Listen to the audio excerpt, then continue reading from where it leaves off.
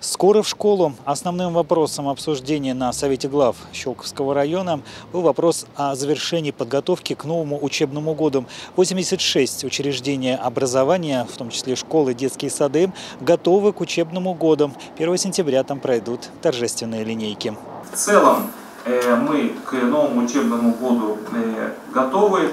Э, к отопительному сезону также все 86 учреждений промыты, опрессованы и подготовлены акты. В День знаний во всех школах района будут предприняты исчерпывающие меры безопасности. В здании учебных заведений проверят сотрудники МВД. Родителей, желающих поздравить детей на праздничной линейке в субботу 1 сентября придет заметно больше обычного. В тех учреждениях, где э, учеников очень много, а это пример 17-я школа, где практически 1800 учеников в образовательном учреждении, мы, конечно же, будем линейки разводить по э, времени, но первая линейка в 10 часов состоится, конечно же, для первых и 11 классов.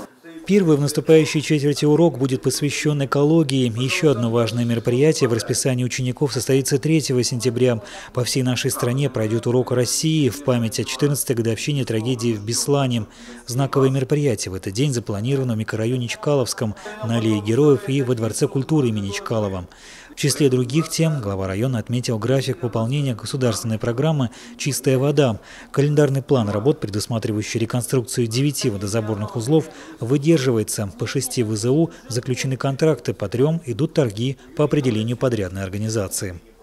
Все в дорожных картах по Фрианова, Булакова, она тоже еще не в госпрограмме, но тем не менее мы тоже уже двигаемся, пакет аукционной документации готов, а, размещаем в плане закупок и будем объявлять торги, также как гарантийное письмо МинЖКХ. Алексей Валов поблагодарил устроителей и непосредственно самих участников праздника Дня города Щелково Щелковского района, состоявшегося в эти выходные. Впервые на улицах и площадях, а также набережных прошел фестиваль «Душоновские маневры». Клубы исторической реконструкции показали быт и снаряжение воинов девяти эпох, от викингов до современности. В этом году гуляния длились заметно дольше – два дня и были наполнены всевозможными развлечениями. Все вместе, в единой команде мы подарили людям праздник – Колоссальный труд, ряд очень непростых задач, но мы справились.